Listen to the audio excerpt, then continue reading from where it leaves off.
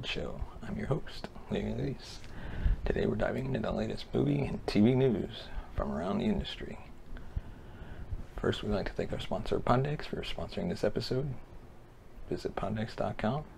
Use promo code CinemaGold for 10% off your order. Our first topic, Mortal Kombat, has the highest opening weekend streaming numbers for HBO Max during this whole pandemic. Mortal Kombat has beat out Godzilla vs. Kong on HBO Max in viewership numbers during their respective premiere weekends. The highly anticipated debut of Legendary's fourth MonsterVerse film was years in the making after the studio announced the film as part of their lineup in 2015. Debut on HBO Max and in theaters in March, expectations were high, and Godzilla vs. Kong seemed to exceed them, breaking several pandemic box office records in its premiere weekend. Godzilla vs. Kong also beat out HBO Max's other high-profile March release, Zack Snyder's Justice League. Bringing a little under a month later, Mortal Kombat is a relatively untested theatrical property in the 21st century. The last film to be released based on the video games Mortal Kombat Annihilation was what many considered a serious major misstep, but anticipation was high for the 2021 reboot.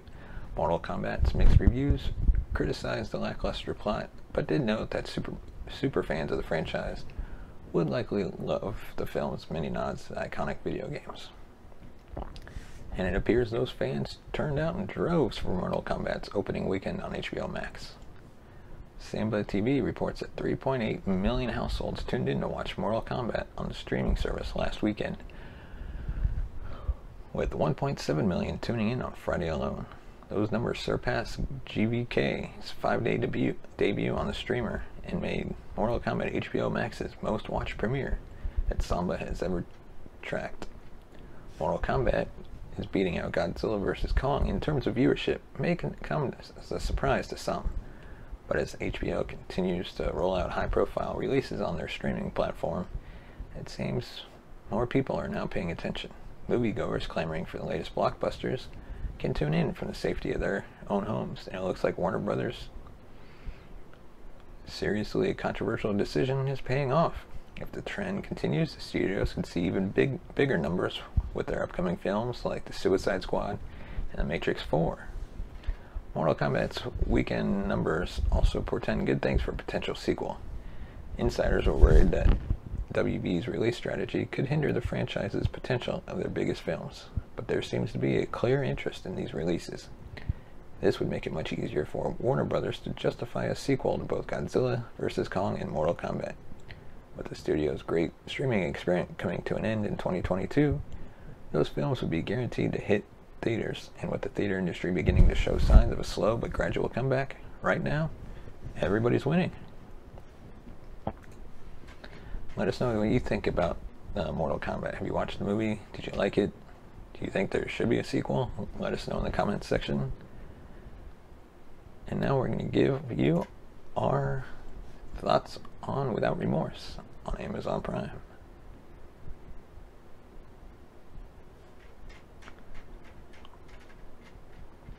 Tom Clancy fans can rejoice. After three decades, at long last, a worthy successor, successor to the 1 2 3 punch of The Hunt for Red October, Patriot Games, and Clear and Present Danger finally emerges in the form of Without Remorse. First things first, though, this is not the book you read in 93. The one that detailed famed Clancy hero John Clark's rise from broken man to a badass pimp killing elite soldier in 1970s Baltimore. In the film, action shifts to modern day and follows disgruntled Navy SEAL John Kelly, Michael B. Jordan's character, on his quest to avenge the death of his wife, executed via a Russian gang with ties to one of those elaborate conspiracies centered around the threat of what else? All out war.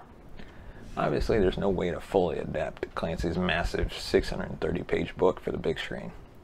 Still, writers Taylor Sheridan and Will Staples make mincemeat of the text in favor of a straightforward, predictable revenge thriller that bears only a passing resemblance to the source material.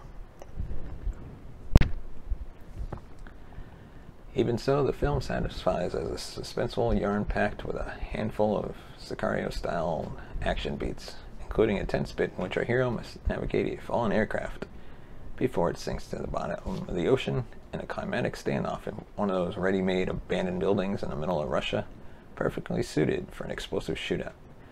Yes, for all its gusto, Without Remorse makes the same mistakes as the last several Clancy adaptations, namely The Sum of All Fears, Jack Ryan Shadow Recruit, and the Jack Ryan series on Amazon.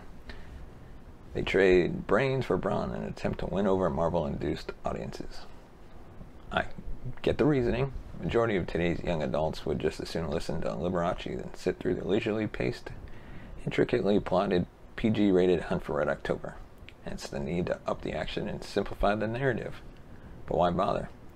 Early Clancy adaptations worked precisely because they didn't ca- cater to action aficionados. Instead, they offered intricately plotted dramas packed with multifaceted characters who stood in direct contrast to the Schwarzeneggers of the day. Oh, sure, Clancy pretty much disowned Patriot Games and Clear and Present Danger for, ironically enough, oversimplifying the plots of their respective books. But still, but such films still bore the renowned author's hawkish style and typically catered to fans of his work, i.e., audiences who didn't mind watching Alec Baldwin or a 50-year-old Harrison Ford battle drug cartels, Irish terrorists, Russian subcommanders, and shady government types from behind their desks at the CIA. But that Remorse has its protagonist light a car on fire before jumping inside the vehicle to interrogate a mustache-twirling villain.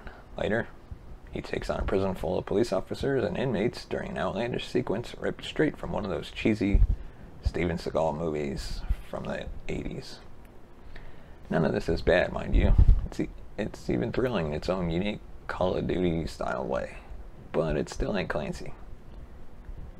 And yet I'll recommend Without Remorse simply because, despite many criti- criticisms, the film is a huge step in the right direction for as Clancy adaptations go.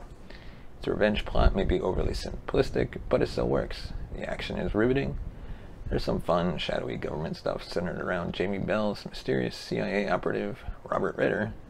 That's obviously set up for a big screen take on Clancy's 1998 novel and subsequent video game series, Rainbow Six.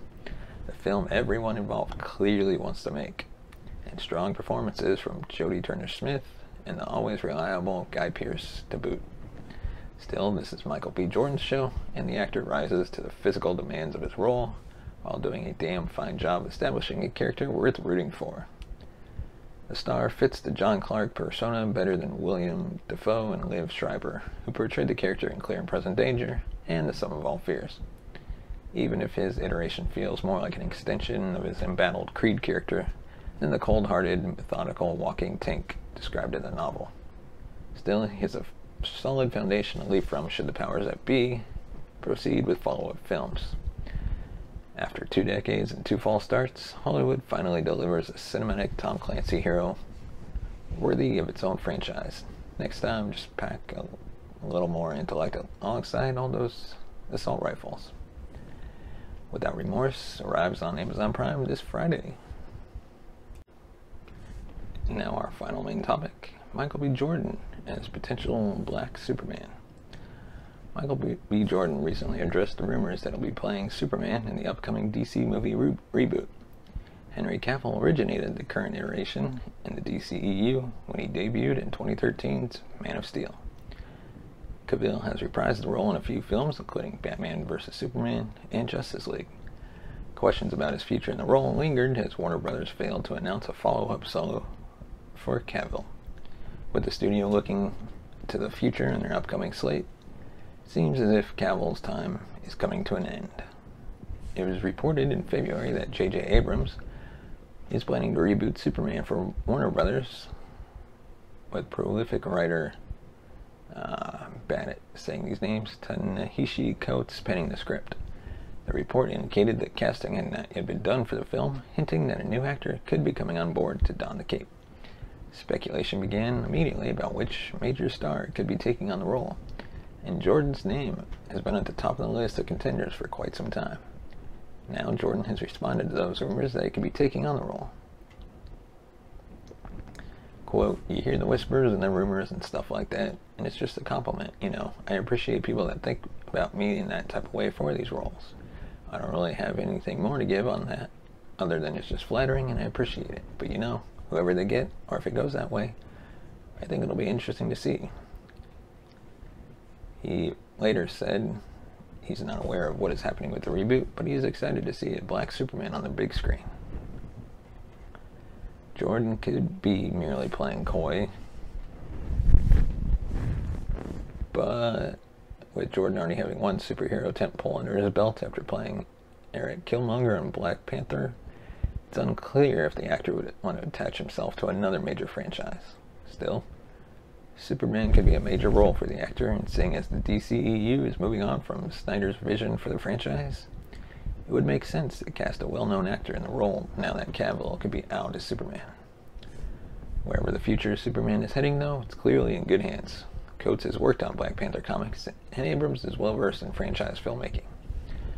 With a star like Jordan at the forefront of the reboot, the new Superman could take the franchise in exciting directions. While some may be sad to see Cavill go, it's clear the DCEU is ready to move on from Snyder's vision and begin looking at ways in which they can reboot certain aspects of the franchise, beginning with The Last Son of Krypton.